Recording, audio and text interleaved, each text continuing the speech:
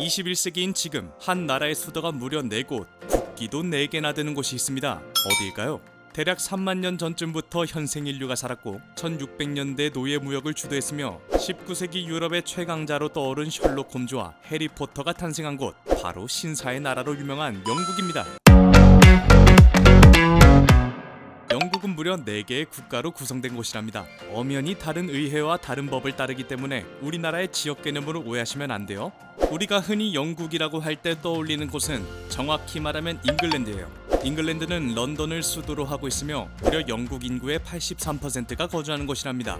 이외에도 스코틀랜드와 웨일즈, 북아일랜드가 연합해 진짜 영국을 구성하죠. 우리가 쉽게 부르는 영국의 정확한 국가명은 그레이트 브리튼 북아일랜드 연합왕국인데요. 엄청나게 긴 이름에서 뭔가 특별한 사연이 느껴지지는 않나요?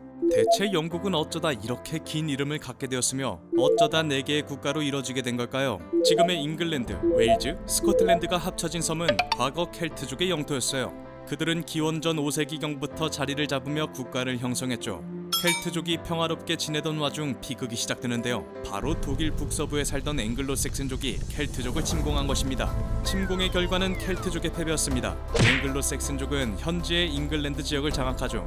켈트족은 어쩔 수 없이 잉글랜드에서 밀려나 스코틀랜드와 웨일즈, 아일랜드로 쫓겨나게 됩니다.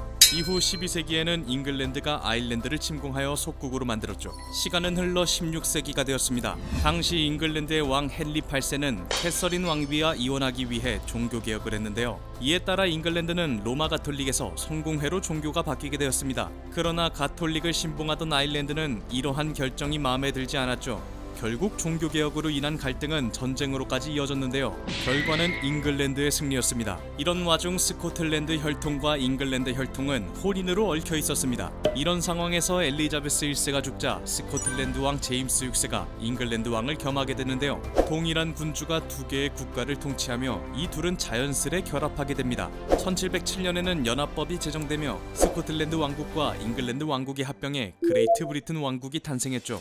1801년에는 속 속국이던 아일랜드까지 합쳐 그레이트 브리튼 아일랜드 연합국이 되었습니다. 그러나 잉글랜드인들이 연합국 국민들까지 세심하게 챙긴 것은 아니었습니다. 오히려 그들은 아일랜드의 농산물을 약탈하였는데요. 이로 인해 아일랜드 사람들은 감자를 주식으로 삼게 되었죠. 그런데 1845년부터 1850년대에 불어온 감자 역병은 아일랜드를 무시무시하게 삼켜버렸습니다. 감자를 주식으로 하던 아일랜드인들에게 이는 재앙과도 같았죠. 결국 대기근은 약 100만 명에 달하는 아일랜드인들의 목숨을 앗아가 버렸습니다.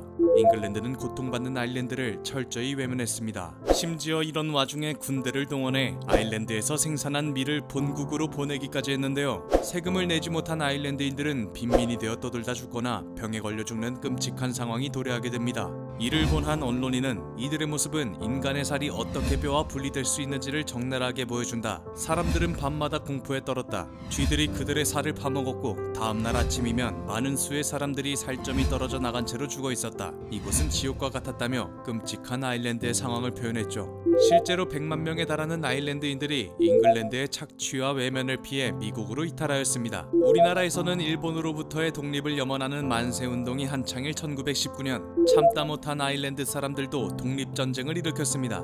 이 전쟁으로 그들은 북아일랜드를 뺀 영토를 갖고 독립할 수 있게 되었죠. 그래서 오늘날의 영국은 잉글랜드, 웨일즈, 스코틀랜드, 그리고 아일랜드가 아닌 북아일랜드 네 국가로 이뤄지게 되었습니다. 신사의 나라로 불리는 영국이 형성되는 과정은 참 다이나믹했는데요. 분열과 통합을 반복한 역사는 흥미로우면서도 눈여겨볼 일인 것 같습니다.